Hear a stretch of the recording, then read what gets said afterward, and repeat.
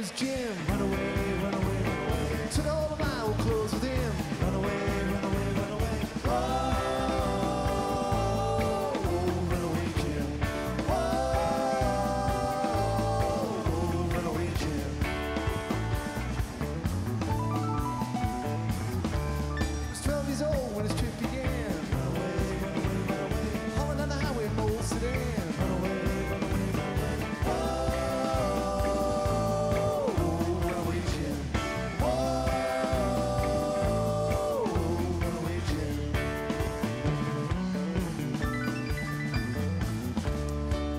Tell me where old Jim went.